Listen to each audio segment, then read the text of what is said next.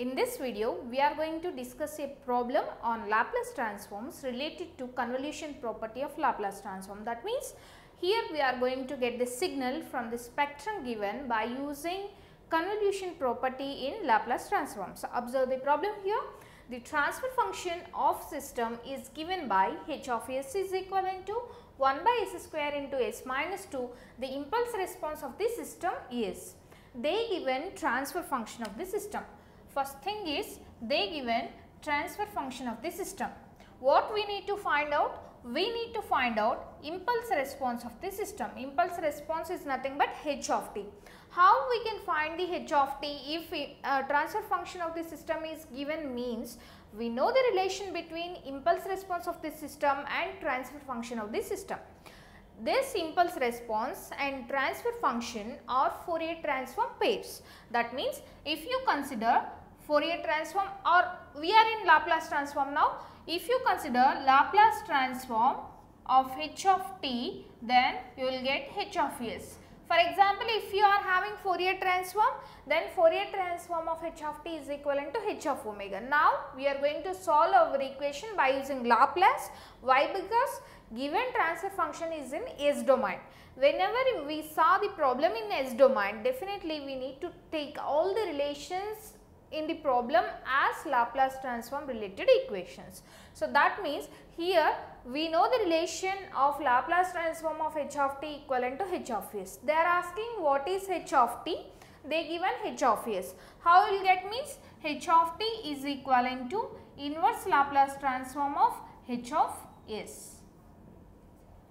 Now, I am going to state convolution property once again. That means, if x1 of t Laplace transform x1 of s and x2 of t signal Laplace transform is x2 of s, then convolution property states that x1 of t convolution with x2 of t if you consider convolution of these two signals and consider Laplace transform for this total signal, you are going to get x1 of s into x2 of s. That means the spectrum of this convoluted resultant convoluted signal is equivalent to multiplication of frequency domains of individual signals.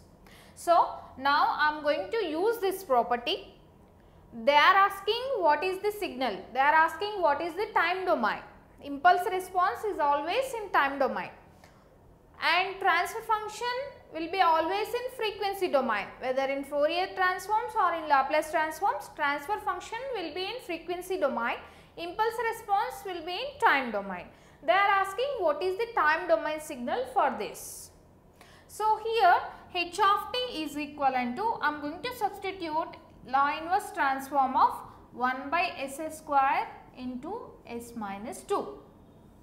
So, here if you want x1 of t convolution with x2 of t, I want to expand this statement that means Laplace transform of x1 of t convolution with x2 of t is equivalent to x1 of s into x2 of s. If you want time domain signal then x1 of t convolution with x2 of t is equivalent to inverse Laplace transform of x1 of s into x2 of s. Now, I am just comparing these two equations.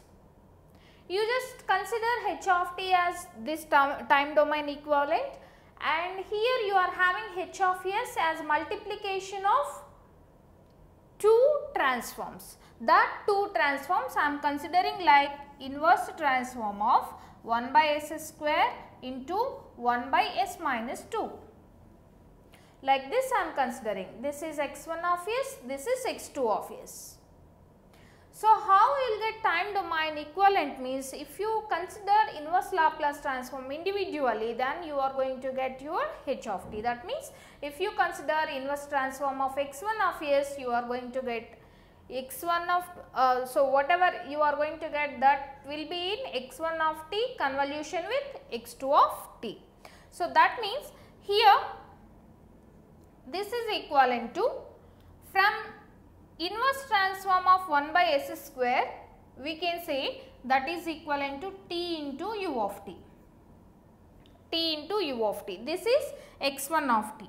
Convolution with for la inverse Laplace why uh, I am writing convolution means inverse Laplace transform of two multiplied spectrums is equivalent to convolution of those time domain signals. So, the signal related to this is this one that means for this x1 of s, x1 of t is this, this is x2 of s for that when we are writing x2 of t we need to consider convolution in time domain. When I am discussing this property also I told you convolution in time domain leads to multiplication in frequency domain. Multiplication in frequency domain leads to convolution in time domain. So, similarly here 1 by s minus 2 if you consider inverse Laplace transform that is equivalent to e power 2t into u of t. So, finally this is equivalent to t convolution with e power 2t into u of t like this also you can write. So, I am taking common of u of t and t convolution with e power 2t into u of t will be your answer or t u of t convolution with e power 2t u of t will be your answer final answer. So, just I just applied convolution property here. So, whatever convoluted signals in time domain is there those spectrums are going to multiply in frequency domain whatever the signals we are convoluting in time domain that signal spectrums in frequency domain are going to multiply based on that property I solved this problem and I got the impulse response of the system where they given transfer function of the system in S domain. So, like this way we need to solve problems related to impulse response when transfer function is given in Laplace transforms.